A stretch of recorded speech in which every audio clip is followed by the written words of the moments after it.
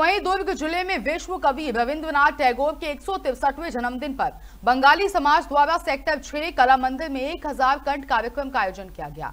बता दें कि इस कार्यक्रम में एक साथ 11 राज्यों से 1100 से अधिक संख्या में टैगोर के अनुयायी और संगीत प्रेमी इकट्ठा हुए। साथ ही 100 से अधिक लोगों ने भाग लेकर एक ही समय पर एक साथ रविंद्र के 20 गाने गाए। वहीं इस कार्यक्रम का लाइव प्रसारण सोशल मीडिया के माध्यम से पूरे देश में किया गया। वहीं रविंद्र सुधा के संचालक विश्वजीत सरकार ने बताया कि एक साथ हज़ारों लोगों ने एक ही मंच पर गाना गाया है और अलग अलग जगह से एक ही समय पर एक जैसा गाना भारत में पहली बार हुआ है।